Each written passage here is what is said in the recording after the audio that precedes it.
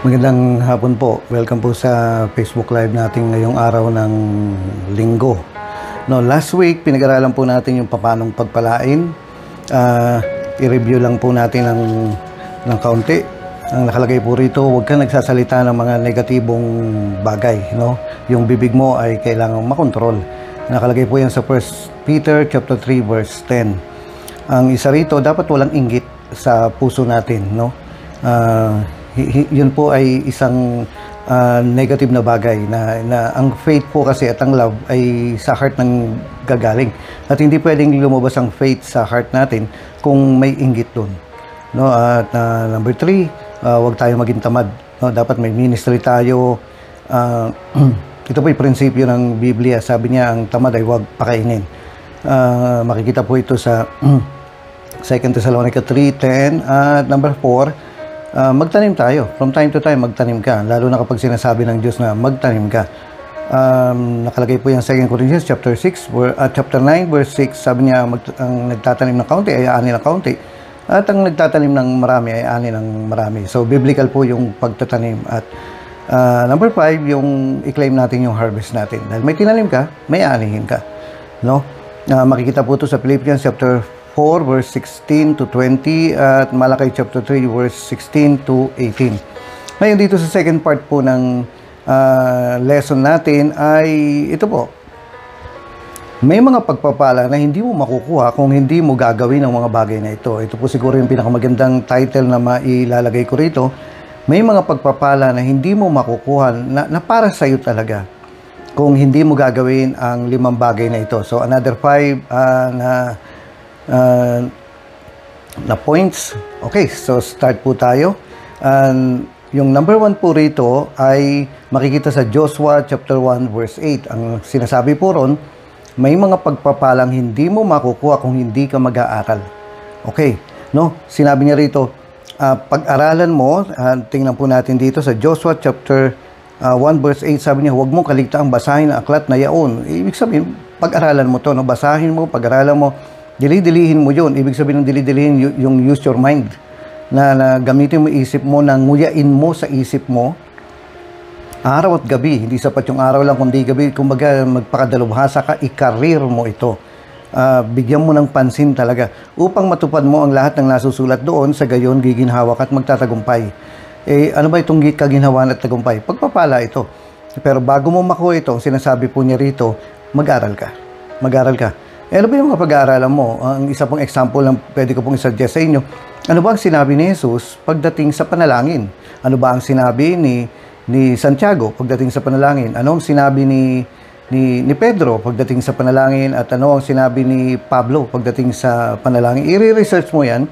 So ano gagawin mo? Mag-search ka at mag-research ka patungkol sa mga mga patakaran, sa mga rules ng prayer katulad po sinabi ni Jesus na manalangin kayo ng ganito. So something similar ganun. Tapos sinabi niya na kapag ikaw ay mananalangin, magpatawad ka. So ito mo yung mga rules, policies, na mga gu- guidelines pagdating sa prayer. So sabi ng Biblia, kung gusto mo ang mga pagpapalang ito, eh, ibig ko sabihin doon, yung mga malalaki. Yung mga mga bigatin, yung talagang life-changing, hindi yung yung paisa-isa, yung parang survival ka lang, yung parang ah, nakaka, ano tawag dito, yung parang, yung paisa-isa lang, pakaunti-kaunti lang, eh, eh, hindi po yun, no? Ang tinutukoy po rito yung talagang malalaking pagpapala ay nakukuha, number one, sa pag-aaral. No? Alamin mo kung ano yung, yung para sa iyo, ano yung, ano yung mga pinangako sa iyo ng Diyos para ah, kasi kapag alam mo na ito ay para sa iyo, automatic andun na yung faith, no? Pagka nalaman mo na ang, ang kasaganahan ay sa iyo, andun kagad yung faith. Kapag ka nalaman mo na ito ay kalooban ng Diyos, andun kagad yung faith. At hindi mo makukuha yung mga malalaking klase ng pagpapala kung hindi ka mag-aaral. At si Joshua, laki-laki po ng ng assignment na binigay sa kanya noon, yung pagmamanage ng tao, isipin yung milyon yun ha, sa, kung, kung wala ang wisdom ng Diyos doon, hi- hi- hindi magiging matagumpay yan. Hindi, hindi nakabase lang sa Diyos eh, kundi yung kooperasyon natin sa Diyos. Da- dapat alam mo yung part mo. Walang problema sa part ng Diyos. Alam niya yung part niya. Pero yung part mo dito sa mga ah, ah, mga problemang dadaanan ng, ng bayan, ng, ng simbahan mo at ng pamilya mo, eh, make sure na, na wala sa iyong pagkukulang. Kaya nga, may mga pagpapala pong hindi natin makukuha yung mga malalaking pagpapala kung hindi tayo mag-aaral. At ulitin ko po, ang sabi niya ganun, huwag mo kaligtaang basahin ang aklat na yaon, dilidilihin mo yun araw at gabi upang matupad mo ang, ang lahat, hindi yung pa, pa isa-isa lang. Kasi may mga time po na minsan, kumbaga sa gantong bagay, eh, hindi mo natutupad. No? Kumbaga parang medyo pabaya ka sa ganun, eh, hi- hindi po ganun. No? Kasi kapag ka, uh, nag-expect ka ng balik sa Diyos, eh kailangan meron yung ah, magbigay ka at ikay bibigyan. No? So, so mauna ka, susunod ang Diyos. At dapat alam natin yung mga ganong mga bagay para hindi po tayo magtatanong na, na, na asa ng Panginoon, asa ng Diyos. Eh, maiwasan po natin yung mga ganong mga bagay. Okay. So, number one, mag-aral po tayo. May mga pagpapalang hindi natin matatanggap kung hindi tayo magbibigay ng time na mag-aral ng salita ng Diyos. Ang salita ng Diyos, nandito yung mga patakaran, yung mga do's and don'ts, nandito yung mga bagay na makakapagpasagot ng panalangin mo, at nandito yung mga bagay na, hin- na hindi masasagot ang panalangin mo dahil sa nagagawa natin. Okay, so sabi niya matup- ah, para matupad mo yun araw at gabi, no? Ah, upang matupad mo ang lahat ng nasusulat doon sa gayon, giginhawa ka at magtatagumpay. Hindi pa pagpapala ito. Yes, pagpapala ito. Pero nakabase sa pag-aaral mo. Mag-aral ka ng Biblia. No? Uh, kumari, ah, kabisaduhin mo yung, yung ilang mga passages riyan, yung mga importanteng passages riyan, para pagdating ng problema, alam mo na kaagad. No, okay. So, number two, ay makikita po natin sa Hebrews chapter 10, verse 38. Ano po yun? Anong sinasabi ron? The just shall live by faith. Ano ibig sabihin? May mga pagpapala na hindi mo makukuha kung hindi mo ipagpe-faith. May, meron po yung isang tao na hinihintay na lang niya, nakahiga siya, hinihintay na lang niya bumagsak yung bunga sa, sa kanya at sasaluhin na lang ng kanyang bibig. No, eh, si Juan Tamad ata yun, hindi, hindi ko po matandaan. May mga bagay po na hindi, hindi kusan darating sa iyo eh. Salamat sa mga bagay na dumarating sa atin dahilan sa confession natin, dahilan sa wala tayong inggit, dahilan sa ah, hindi tayo tamad. Pero may mga bagay dito sa mundo na hindi kusang darating sa iyo malibang ipag-faith mo. Ibig sabihin yung kunin mo. Nalala ko po nung time, nung, nung unang panahon, ah, 2017, I think, oh, nasabi ko, ayoko na ng utang. Bakit? Baon ako sa utang. Nagtuturo ka ng kasaganahan, pero ikaw may utang ka, eh, hi- hindi magandang example. So, sabi ko nun, ah, ayoko na ng utang at dinil ko na. Yung, yung, may mga bagay pong kailangan upuan mo na na kailangan makaahon ako rito sa utang. No, eh, wala naman akong tatay na na pwede kong takbuhan. Pero may tatay tayo sa langit na, na pwede nating ah, lapitan. No? Sinasabi ng Hebrew na, na sa time ng pangangailangan ay pwede tayong tumawag at lumapit sa Kanya. Pero, ang paglapit po sa Kanya ay kailangan mayroong pong pananampalataya. No? Ay sabi ko nga, ah, ilang taon po akong baon sa, sa utang. No? Eh, Hanggang sa dumating yung time, sabi kong gano'n, kailangan i-deal ko na to. No? Kailangan harapin ko na ito. At syempre, wala kang pagsasabihan, kundi kayong dalawa lang ng Diyos ang nag-uusap. At purihin po ang Panginoon, nung starting nung 2018, yung utang ko po ay nawala na. No? Malaking halaga po yun para sa akin. Siguro sa mga sobrang yaman, eh, maliit lang yun. Pero sa akin na, na full-time na, na pastor, full-time sa ministry at wala namang hanap buhay, eh, sa Diyos lang ako makakaasa at may mga bagay talaga na hindi mo makukuha kung hindi mo ipagpe-faith. So, ano gagawin mo? I- ilalaban mo yan, which is yung number 3. No? Ang number 3 po ay nakalagay sa unang Timoteo chapter 6 verse 12, fight the good fight of faith. Kailangan ilaban mo. Hindi ang Diyos ang kalaban mo, kundi ang Diablo ang kalaban mo. Siya yung nangaagaw ng kagalingan, siya yung nag-aagaw ng kasaganahan, at siya yung nangaagaw ng kasagutan sa panalangin. Kung kung matatandaan niyo po si si Daniel ay nanalangin ng 21 days. At nakapasok po si si Gabriel, no? At sabi niya nung unang araw pa lang ng pagpe-pray mo, pina, pinadala na kami. Pero hinadlangan kami kaya kailangan mong ilaban ito. May mga pagpapala na hindi mo makukuha dito sa buhay mo, sa, dito sa mundo kung hindi mo ipaglalaban eh, make sure lang na yung pinaglalaban mo ay kalooban ng Diyos, no? Eh, sabi nga niya, fight the good fight of faith. eh, tinawag po tayo makipaglaban. Hindi sa natural, kundi dito po sa spiritual, sa pananampalataya. So, number one, kailangan mag-aral ka para alam mo kung ano yung paglalaban mo. At number two, kailangan mong iupuan ito, ipag-paid ito na nasisimulan ko na ngayon, ipag-paid yung sakit ko, kailangan ko na ipag-paid yung, yung utang ko, yung, yung pangangailangan ko. O, mga kapatid, natikman ko po yung hindi masarap na ulam. At natikman ko rin yung masarap na ulam. Ayoko nang bumalik sa hindi masarap na ulam. No, gusto kong mag-enjoy yung yung yung yung buhay ko, yung enjoy yung sarili ko na na ito ang kalooban ng Diyos sa akin, ito ang laan ng Diyos sa akin at mabubuhay ako doon sa provision niya. At makukuha mo lang yon kapag ka dinil mo na, kapag inupuan mo na, kapag nag-start ka lang, sasab- sasabihin mo na, ipag-pay ko ito. At number three, ilalaban mo. Sabi nga natin eh, yung pong isang salawikain na, na kapag may katwiran, ipaglaban. Ang katwiran mo ay makikita sa Biblia. Kung ginagawa mo ito, kung, kung na alinsunod sa salita ng Diyos ang buhay mo, meron kang katwiran at meron kang karapatang ipaglaban at meron kang gantimpalang mapapanalunan. No? So, okay po. Number one, uh, study. Mag- mag-aral ka. Number two, ipag-faith mo to. Number three, ilaban mo to. Actually, number three po ay under pa rin ng number two. Pero eh, para mas malinaw po, ilaban natin yung mga bagay. Ulitin ko po, may mga bagay na hindi mo makukuha rito kung hindi mo ipaglalaban. Magbigay ka ng time na naupuan ito, i-deal ito.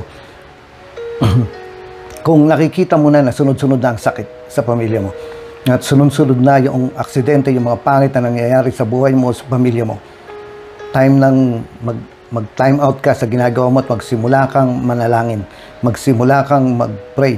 Kapag nagrarally na yung isang team sa basketball, eh, mag-time out ka na at mag-evaluate ka at mag-usap kayo na ganito ang gagawin natin. Kapag nakikita mo na na, tuloy-tuloy nang inaagaw ng kaaway yung mga bagay na, na magaganda sa buhay mo at parang uh, sunod-sunod ang pagkatalo mo, mag-time out ka, magbigay ka ng time na, na, na upuan ito, i-deal ito, ilaban ito, no? Kung kinakailangan mag-fasting ka, mag-fasting ka.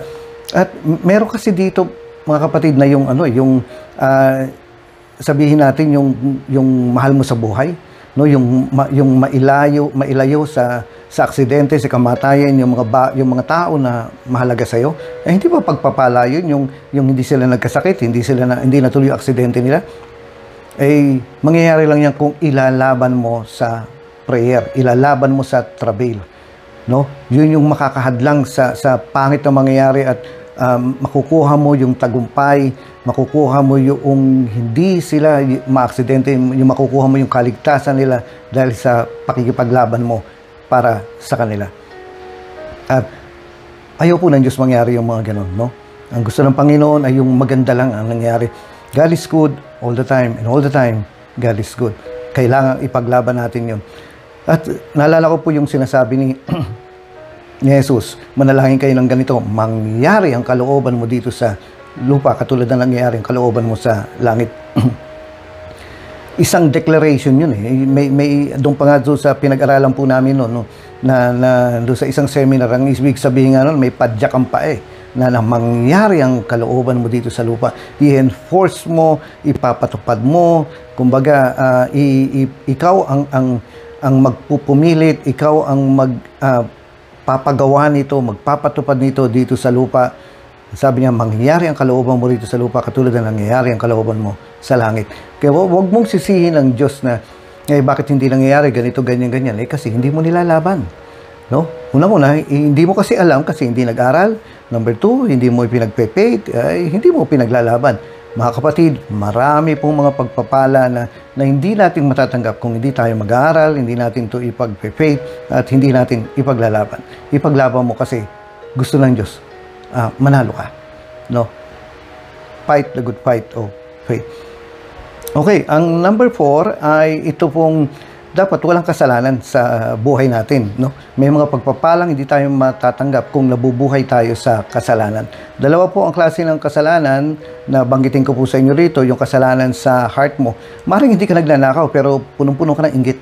Maring hindi ka nagnanakaw pero punong-puno ng pananagili ang puso mo, maring hindi ka nagnanakaw, pero uh, dun sa loob mo, may, may bitterness. no eh yun, yun po yung yung spiritual na part na yan eh na hindi ginagawa ng physical mong ah, kasalanan pero ah, ng physical mong katawan pero sa harapan ng Diyos ikaw ay nagkakasala ang sabi nga niya dito sa Biblia ah, ang sino man tumingin sa isang tao na, na may masamang pagnanasa ay sa puso niya nangangalunya na siya No, so hindi mo kailangan gawin yung yung physical na bagay kung hindi sa heart mo pa lang. At ang sabi po niya rito sa sa Isay ah, Awit 66 verse 18, no? Awit 66 verse 18. Ang sabi niya, kung kung mayroong kasalanan sa puso ko, hindi ako diringgin ng Panginoon. Ulitin ko po, kung mayroong kasalanan sa puso ko, hindi ako diringgin ng Panginoon. So, hi- hi- hindi po natin makukuha yung mga pagpapala na nakalaan sa atin kung nabubuhay tayo sa kasalanan. At wa- wag po kayo namang ah, sasabihin ko lang po yung totoo. Kung, kung kayo po ay live-in, pakasal kayo. No? Kung, kung kayo po ay nasa kasalanan, ay alis po tayo rin at magpakasal po kayo. Dahil isa pong ah, humahad lang yan sa, sa blessing. Kung meron kang alam mo na nandun ka sa kasalanan, nandun ka sa compromise at alam mo, wala ka sa kalooban ng Diyos, umalis ka riyan. Bakit? Kasi may mga bagay po na hindi natin makukuha kung andun po yung nabubuhay tayo sa kasalanan. Naulitin ko po, sabi niya ganun, kung nakikita ng Diyos yung kasalanan sa puso natin, hindi tayo diringgin ng Diyos. So, number one, mag-aral ka. Number two, ah, ipag-faith mo. At number three, ilaban mo. No?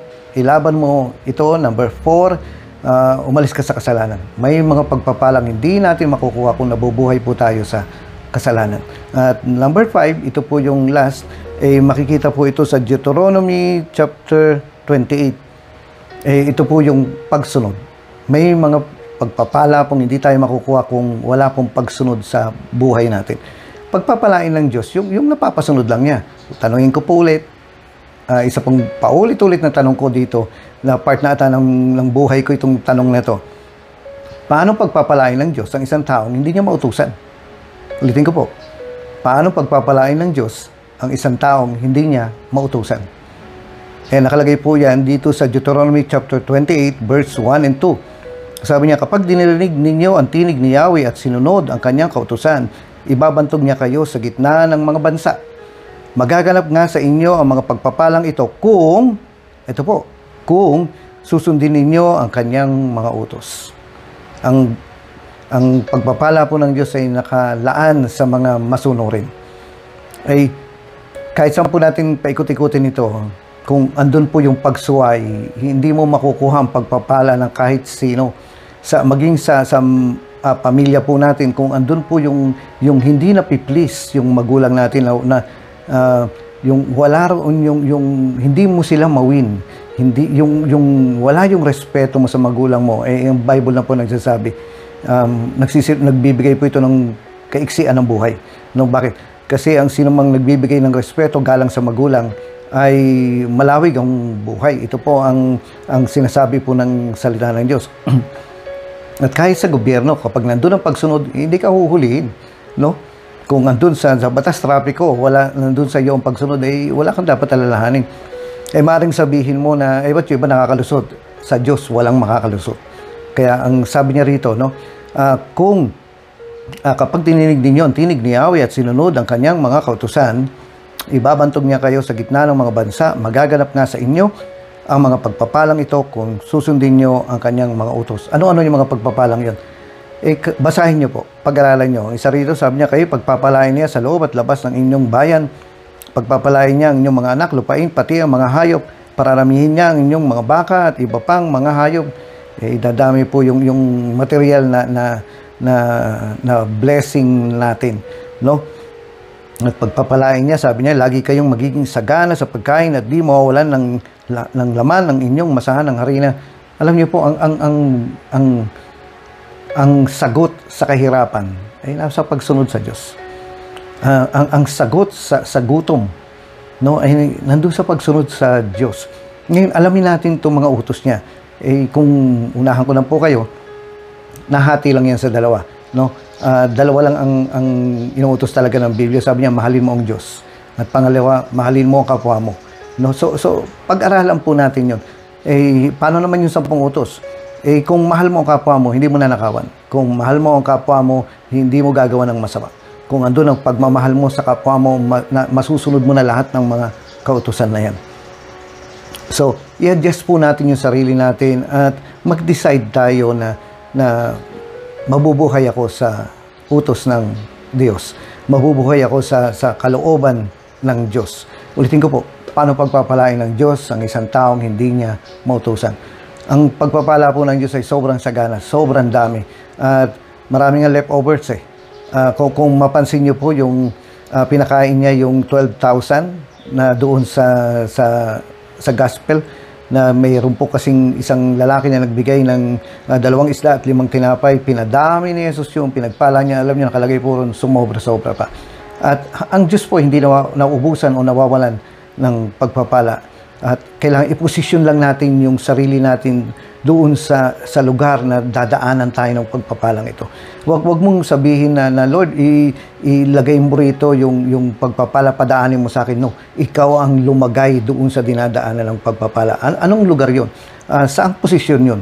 Nandun sa pagsunod sa kalooban ng Diyos. Kaya ulitin ko po, Number one, ah, mag-aral po tayo, Joshua 1.8, no? Number two, ah, ipag-pay po natin ito. At number three, ah, ilaban natin ito. Ah, number four, ma- umalis tayo sa sa buhay na andun yung kasalanan. Ah, alisin, umalis po tayo ron. Siguraduhin po natin wala tayo sa kasalanan. At number ah, five ay sundin natin ang inuutos ng Panginoon. Baguhin mo yung katwiran mo, baguhin mo yung prinsipyo mo, baguhin mo yung pananaw mo. Ah, huwag ka nang ah, ah, gagaya doon sa, sa, sa dating mga katwiran natin. Sabi niya, magbago na kayo ng takbo ng isip. Ibahin nyo na ang takbo ng isip ninyo at sabi nga niya, alamin ninyo kung ano yung maganda, tama at perpektong kalooban ng Diyos. At doon tayo lumagay at maniwala po kayo ang pagpapala ng Diyos ay para sa iyo. Sayang, sayang kung hindi mo ito makukuha. At turuan mo yung anak mo na na na sundin, turuan silang sumunod sa mga utos na ito para hindi lang ikaw, kundi rin sa mga magiging anak mo, anak ng anak mo, yung, yung kaya nga sabi niya ganoon, yung buong lahi mo. Uh, turuan mo siya parang yung lahi ay mabuhay. Ano ibig sabihin ng mabuhay? Magkaroon ng magandang buhay. So, yan po ang lesson natin ngayon. Ah, hanggang sa susunod po, itutuloy po natin ito. Ah, pag-aralan po natin. Balik-balikan mo. Ito naman ay nasa Facebook lang, at sa YouTube. Ang dami pong mga lessons riyan na, na makakatulong po sa atin. At alalahanin po natin, paano pagpapalain? Itong tanong na ito, alalahanin natin, paano pagpapalain ng Diyos ang isang taong hindi niya mautusan? Eh, alam na po natin ang sagot doon. Kaya nga, ako, ang buhay ko, ang sarili ko ay i-align ko doon sa gusto ng Diyos dahil gusto ko dadaanan ako. No, dadaanan ako ng pagpapala. Wag wag mong sabihin, inuulit ko po. Wag mong sabihin na na i-direkta mo rito yung pagpapala. No, ikaw ang pumunta doon sa dinadaanan ng ah, pagpapala ko. Saan rumaragasa ang pagpapala? Doon ka. No? Pum- Pumunta ka ron. No, pumunta ka saan? Sa kalooban ng Diyos. Sundin mo yung mga utos niya, mahalin mo ang Diyos, mahalin mo ang kapwa mo, no? At tingnan natin.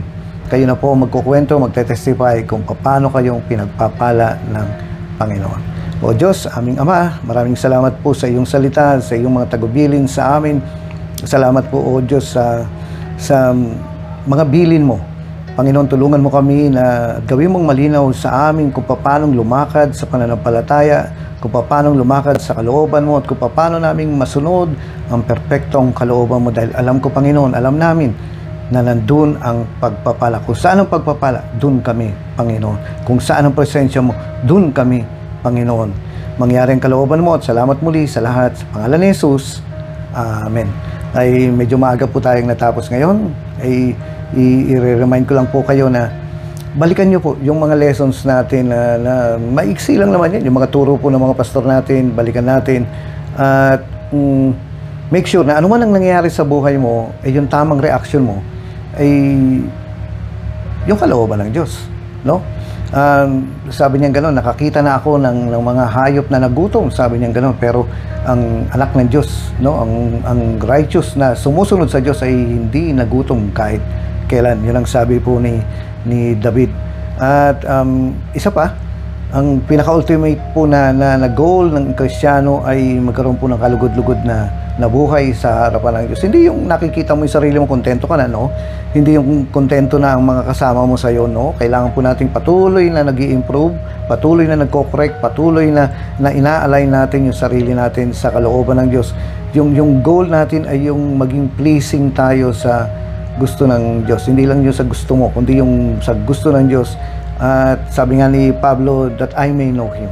No? Yung, yung pinaka ultimate na, na, na desire ni Pablo ay nasa Philippians chapter 3 po yan. Sabi niya na that I may know Him, na, na makilala ko pa ang Panginoon. No, eh, yun po ang i-goal natin. Ay okay po, marami pong salamat sa ah, inyong pagsubaybay hanggang sa bukas po. Ah, araw-araw po yan, um, meron po tayong binobroadcast na, na salita ng Panginoon. God bless you po. Bye-bye na. Palain po kayo ng Panginoon.